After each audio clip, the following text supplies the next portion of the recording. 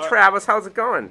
All right, I'm hanging here at Showcase Cinema with Sid the Science Kid, and he seems like an all right fella. He likes science, and I like science, so we're here discussing science. You know, I was in chemistry in high school, and I nobody liked me there, but I enjoy the science, and Sid enjoyed the science, so it was great times. And we're talking about moles and joules and all that fun stuff about science right here at Showcase Cinema, and it's a great time, and it's a balloon.